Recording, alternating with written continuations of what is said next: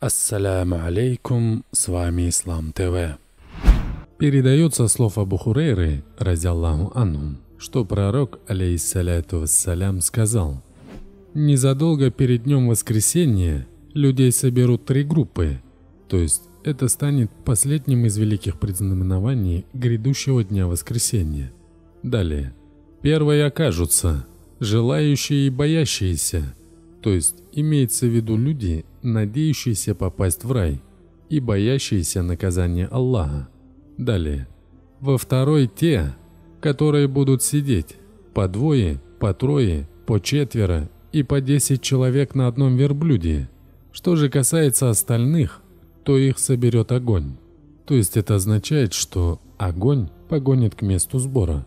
Далее который будет вместе с ними там, где они заночуют, и там, где они остановятся на полуденный отдых, и там, где они встретят утро, и там, где их застанет вечер. Смотрите Мухтасар Сахих Муслим 61, книга о дне воскресения, хадис номер 1927, хадис достоверный. Вопрос. В каком возрасте будут воскрешены люди в судный день? В том, котором ушли из жизни, или все будут одинакового возраста и в одинаковом виде. Говорят, что в день воскресения мы будем с ростом Адама и необрезанными. Так ли это? Как известно, все мы в этом мире пребываем временно. И рано или поздно каждый из нас покинет его. Этого не отрицают даже атеисты, хотя не все верят в то, что мы будем воскрешены в судный день. Однако разумный человек не только верует в судный день, но и всю земную жизнь только и готовится к этому дню. Как мы знаем, человек умирает так, как живет, и каждый человек будет воскрешен согласно тем убеждениям, с которыми он покинул этот мир, и в таком образе, в котором он умер, то есть ушел из этой жизни. Потому каждый человек будет воскрешен со своими благими и греховными деяниями. Что же касается того, что мужчины будут день воскрешения необрезанными, то это правда – об этом свидетельствует хадис пророка, алейхиссаляту вассалям.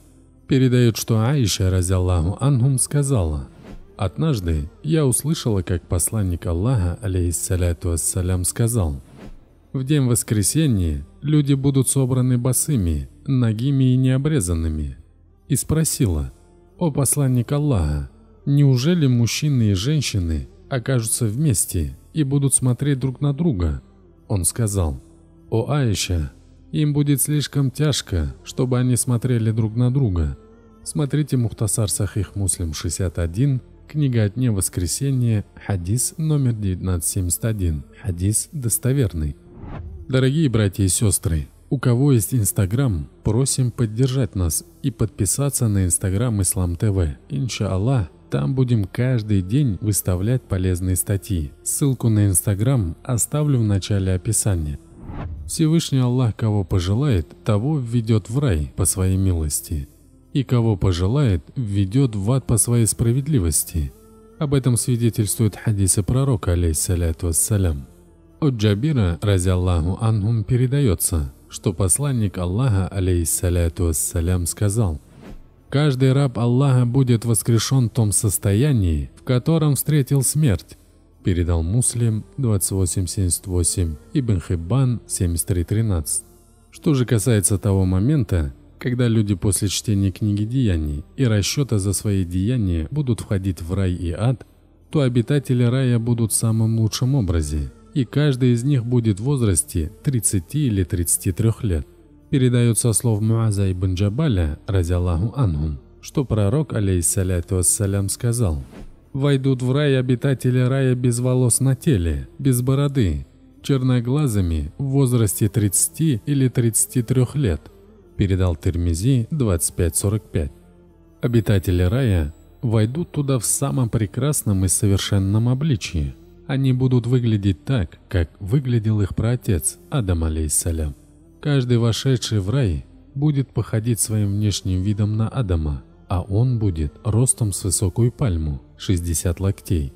Что же касается людей с ростом Адама, алейсалям, об этом свидетельствует хадис пророка, алейсаляту вассалям. Абу Хурейры, рази Аллаху анхум, передается, что пророк, алейсаляту вассалям, сказал, Всевышний Аллах создал Адама, ростом которого равнялся 60 локтям. А потом он сказал ему, «Иди, поприветствуй этих ангелов и послушай, как они поприветствуют тебя. И отныне это будет твоим приветствием и приветствием твоих потомков». И Адам сказал, «Ассаляму алейкум», то есть «Мир вам». Они же ответили ему, «Ассаляму алейка ва рахматуллах», то есть «Мир тебе и милость Аллаха», добавив к его приветствию слова «и милость Аллаха». Каждый из тех, кто войдет в рай, будет иметь облик Адама.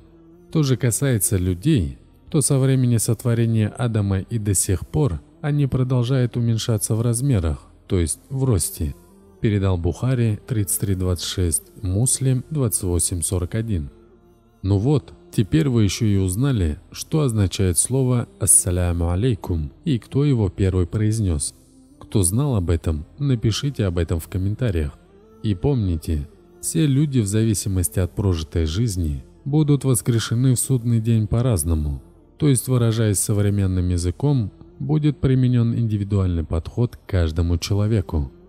Моей обязанностью перед Всевышним было последовательно изложить вам мнение ученых исламского богословия по данному вопросу.